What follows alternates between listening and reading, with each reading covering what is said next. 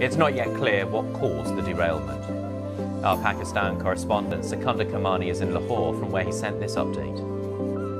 This accident took place in the early hours of the morning as a train travelling from Karachi to the eastern rescue workers had been trying to both retrieve dead bodies from inside them and search for any surviving passengers. This happened in a fairly rural area, so most of the victims